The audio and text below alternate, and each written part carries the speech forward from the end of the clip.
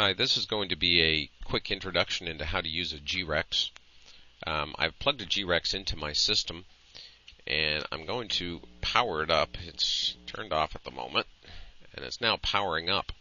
If we run the G-Code Loader program, we can hit the Find Gecko button and you, as you can see, one has appeared at an IP address of 162, uh, 192.168.2.35.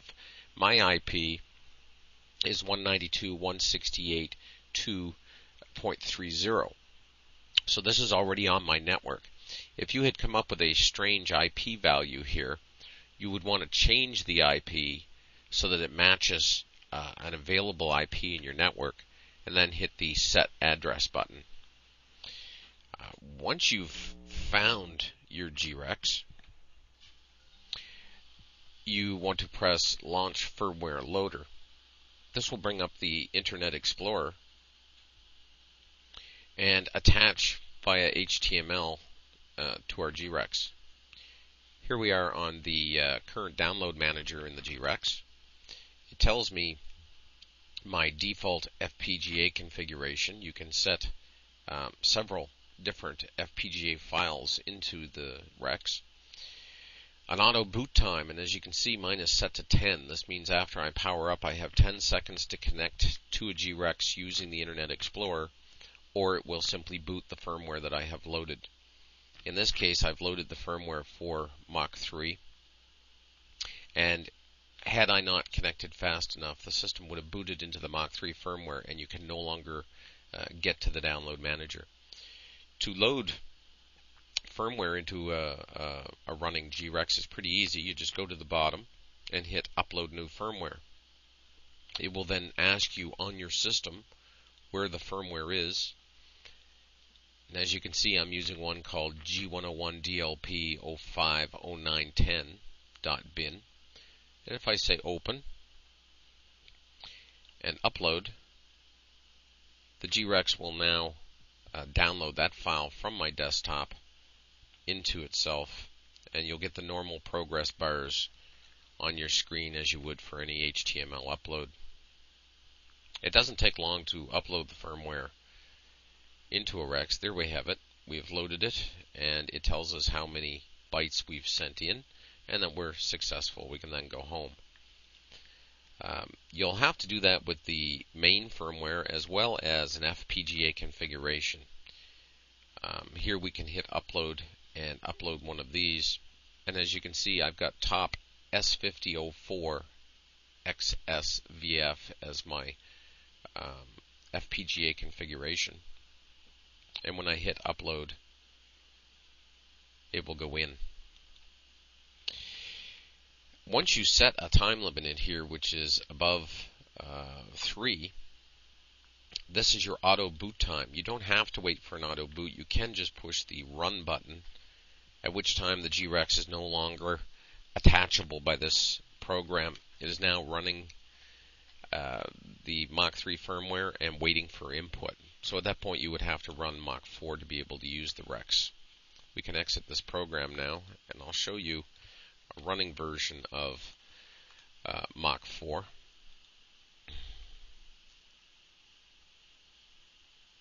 I'm running in debug mode, so it takes a little while to come up. Here we are, we can see that not much has changed other than in the up, upper corner it says Mach 4 CNC application. If we go to a toolpath uh, or to a diagnostic screen, you can see that the pulse frequency readout has changed to 4 megahertz. That's an indication that you're in uh, a G-Rex. Also, you'll notice we have an extra page tab up here called G-Rex. If we hit it, we begin to see several of the registers and some test functions of a G-Rex. Uh, we see a heartbeat, first of all, which occurs about every 250 milliseconds.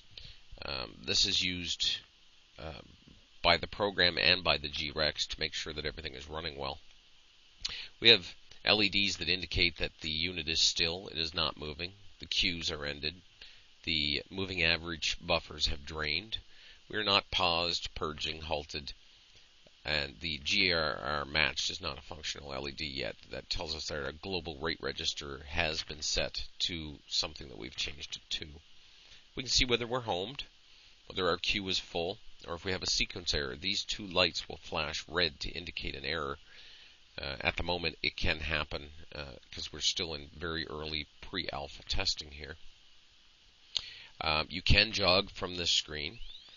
You may be able to hear my motor going in the background. It's going at 65 kilohertz on a jog at the moment. And we see numbers count in our GREX positions. These are rate totals from the axis within the GREX. And they correspond to steps in Mach 3's step position register. If we go to the program uh, screen, you'll see that indeed I'm getting a readout as I jog my axes. And it's moving fairly quickly at 4,300 and some odd uh, down here on the screen. You'll be able to watch it as I jog. There you have 4,000 millimeters uh, per minute approximately.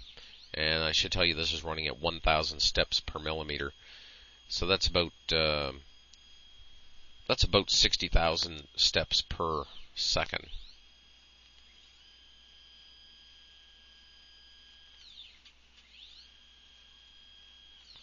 And dual axis jog is no problem. When you're jogging, if we look at the GREX screen, you can see there is sequence counters to make sure that movement sequences stay in tune, as well as message counters. If I hit the jog key, you'll see it sends a message and then continues sending a message. If for any reason the jog message stops every quarter second or so, the axis would just come to a natural decelerated halt. Um, we have some test buttons on the screen. This UChan SYN will resynchronize the channel should you see a synchronization error. I'm not getting them too frequently at the moment. Um, it seems to be getting better by the day. Uh, the jogging is very, very sensitive. If I tap the key here, you'll see that I simply cannot tap too fast for the GREX to keep up. If I uh, hit a go to zero button, we'll go back to zeros. And at the moment I have a small resyncing error, so you may see a uh, small deviation from zero once we actually hit zero today. But this is two motors running now at approximately 60 kilohertz, a little over 12,000 millimeters per, per minute. If we load a program, let's take a look at. Our um, Scorpion program is good. Oh, and I should show you the motor tuning. This is one of the more important aspects of using a Rex. Here in the motor tuning, we have all kinds of selections for how it's going to work. First of all, for the pulse widths, we can select duty cycles varying from 50% active high duty cycle to a 25% active either or a 75% duty cycle either, as well as a quadrature mode in case you want to put a quadrature to a system. Here we select our maximum frequency for our selector range from 4 MHz down to 32 kHz. I haven't seen much difference in terms of smoothness, uh, irrespective of which one we choose on that one. This selects our encoders and how they are read, whether quadrature, tach, uh, step rising, step falling, etc., and how many counts uh, each activation of an input signal will cause in an encoder.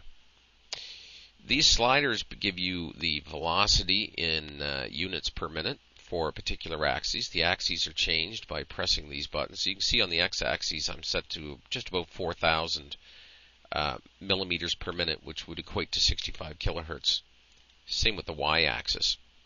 Here we have acceleration, and acceleration is smoothly settable from one second of acceleration down to uh, 900 microseconds of acceleration because I'm using stepper motors which are unloaded and bolted to a steel plate, I tend to give them about a third of a second uh, to accelerate.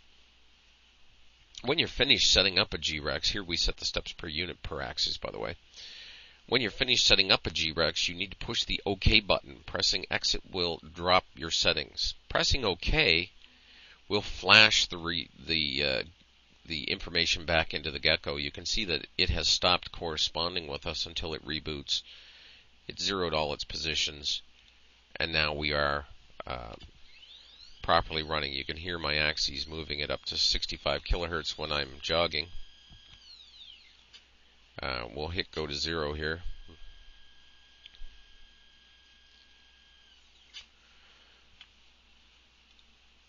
And let's run this uh, Scorpion so that you can hear the motors throughout the uh, range as they go. This program at 65 kilohertz uh, really doesn't take very long to run. Let's give it a uh, feed rate. I'm not sure if it's reset in the program of uh, 5,000 millimeters per per minute, and let it do its thing.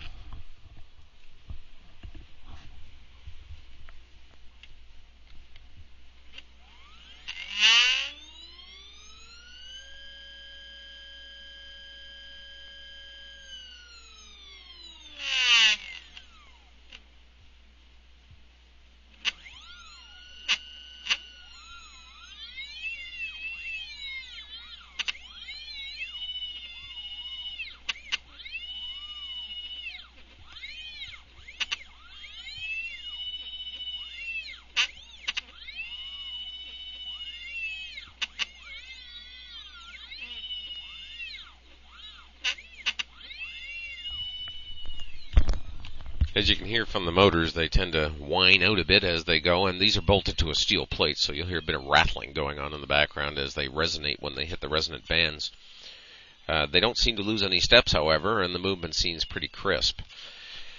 Uh, at this point, I still have a lot of more work to do to uh, tie everything together and to uh, complete this experimental mode that I'm running. I'm not using a G-Rex as it's been intended to be used. This is actually subdividing all moves to uh, approximately uh, 50 milliseconds and applying my own acceleration formulas in addition to the moving average formulas of the G-Rex. So this is really an experimental mode of movement.